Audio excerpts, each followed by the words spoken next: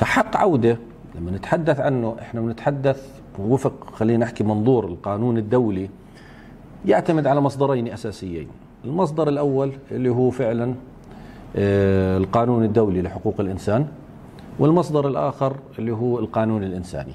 إنه إذا بدنا نحكي بطريقة واقعية ومنطقية بدنا نفهم إنه القانون الدولي زي ما بروح بعد الناشطين الشراكسه عندنا بقول لك إحنا نعتمد على المواثيق على القانون الدولي كويس. انت بدك تحضر درسك. ولكن بدك تعرف انه النظام الدولي بدك تشوف خصائصه بدك تشوف شو هو بدك تشوف شو طبيعته. هل القانون الدولي فعلا له تأثير له وزن له ثقل بهذا بهذا النظام الدولي؟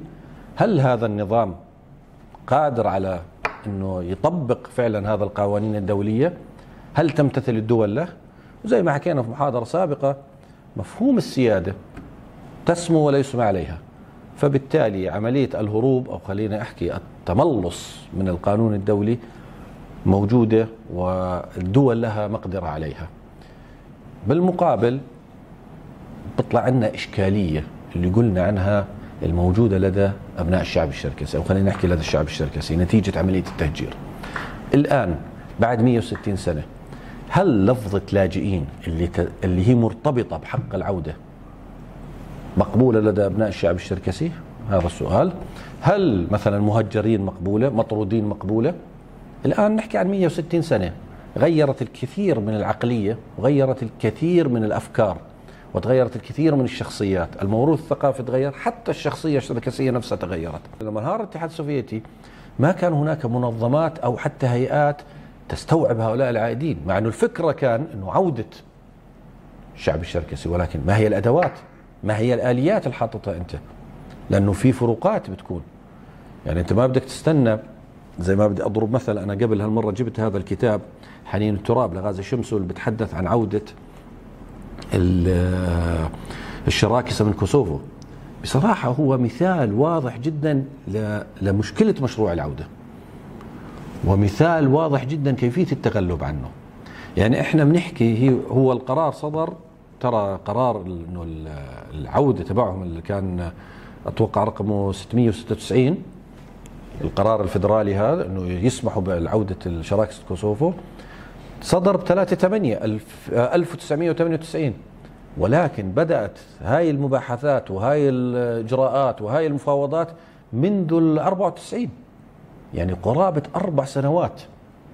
أربع سنوات على 200 شخص تقريبا. الأول يعني خلينا نحكي هذا كمثال عن العودة الجماعية الموجودة.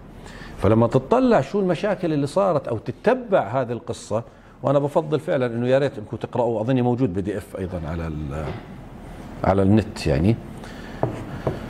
تشوفوا المشاكل فعليا اللي حصلت وكيف تم التغلب. إن إحنا بنحكي عن دولة زي روسيا الاتحادية آنذاك بال 98 قاب قوسين أو ادنى من إعلان افلاسها دولة تعاني من عدم القدرة على السيطرة على أقرب إلى الدول الفاشلة.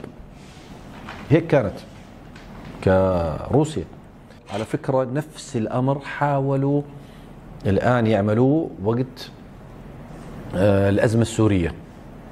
150 شخص طلبوا منهم من شراكة سوريا إرسال رسالة إلى رؤساء الجمهوريات الشركسية. طبعا وقتها تحركت جمهورية آه، القبردية وقتها وأرسلت إذا تذكروا المرحوم ألبرت قاجر. ذهب هناك وقابلهم مع نفس السيناريو لجنة لتقصي الحقائق يشوف الوقائع هناك ويرجع. طبعا قصته شهيرة إنه يعني مش زي وقت كوسوفو يعني تداولوها. أنه دغري لما اجتمع معهم دمشق كانت ردة الفعل إنه لا إحنا سوريا وإحنا الأمور تمام ونحن ونحن. فطلب بعد ما روحوا كذا إنه يقعدوا هيك قاعدة بالفندق وكذا فبلش يتحدث باللغة الشركسية بدون مترجم. إنه احكوا لي المضبوط شو فيه. حكوا له.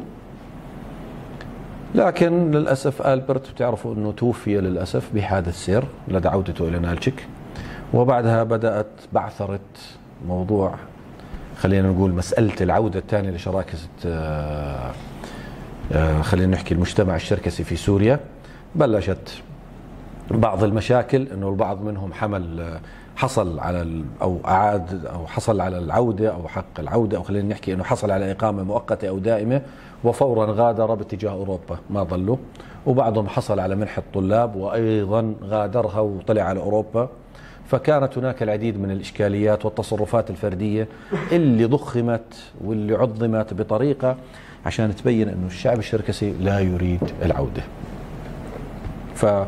فتضررت كثيرا وللأسف مع وجود زي ما قلت انخفاض موضوع الوعي القومي في المهجر لهذا الموضوع إنه عملي ما حصل في سوريا قد يتكرر في العديد من الدول الأخرى. لذلك عملية العودة هي فعليا إذا من نيجي على الحقيقة هي فعليا الوحيدة القادرة من الناحية الواقعية بنحكي والمنطقية على الحفاظ على القضية الشركسية. وعلى تجاوز تبعات ما حدث بالقضية الشركسية وهي الوحيدة القادرة على الحفاظ على ثقافة وعلى تاريخ هذا الشعب